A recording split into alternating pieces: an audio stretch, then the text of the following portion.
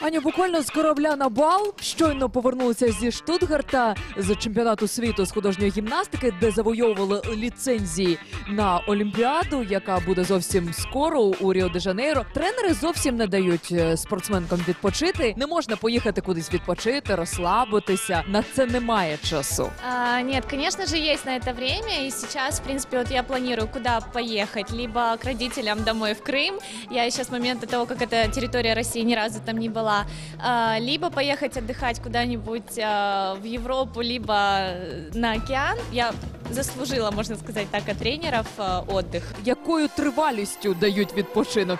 Чи в залежності від того, скільки медалей привозить е, чемпіонка? Ну, в принципе, да, у нас э, у спортсмена все решает результат. Так как результат у меня есть и довольно-таки неплохой, мне дали неделю. Ваша мама все ще живе на території Криму. Вона тренер з художньої гімнастики.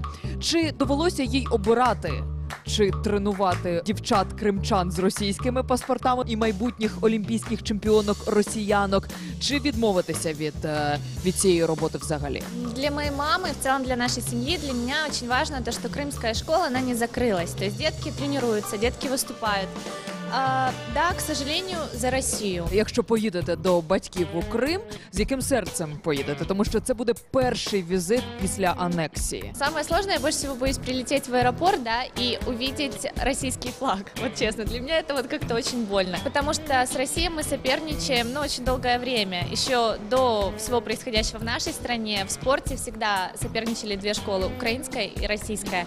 Поэтому для меня это, наверное, самый сложный момент. Для тих, чий дім залишився у Криму, як дістатися своєї батьківщини, зараз теж питання, тому що залітати через Росію це піти проти закону. Треба їхати автомобілем. Автомобілем їхати важко. Ви для себе вже прийняли рішення, будете порушувати закон чи мучитися у автомобілі. Просто так как у меня очень плотный график и каждый час на счету, то, конечно, быстрее добираться самолетом. Поэтому я думаю, что сделаю выбор в пользу самолета. На чемпіонаті світу з художньої гімнастики у Штутгарті ви піднімалися на п'єдестал чотири рази. І чотири рази це було третє місце. Два перших місця посідали росіянки. Конечно же, где-то я пересматриваю сейчас уже по приезду домой выступления свои, выступления своих соперниц и понимаю, что где-то могли мне больше поставить, где-то что-то несправедливо. Но для этого у нас есть еще целый год впереди до Рио-де-Жанейро. И самая главная оценка для меня – это оценка фанатов, зрителей. Когда мне ставили оценки, в принципе, большая часть трибун просто взрывалась, потому что все были не согласны с результатом.